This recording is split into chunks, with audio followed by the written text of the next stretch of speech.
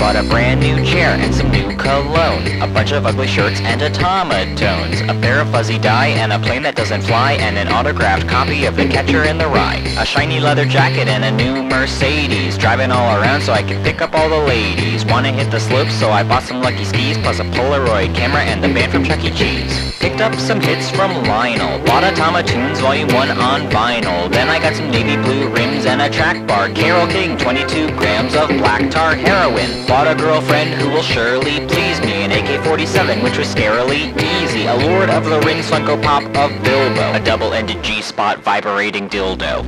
These are all things that I bought that I'm using as a tax write-off.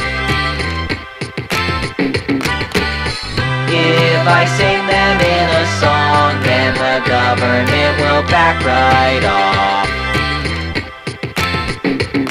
Now. I can promise you that everything I'm doing is fine. Sent out all my W-4s and signed across the dotted line So all the IRS can do is sit back and scoff Cause these are things that I bought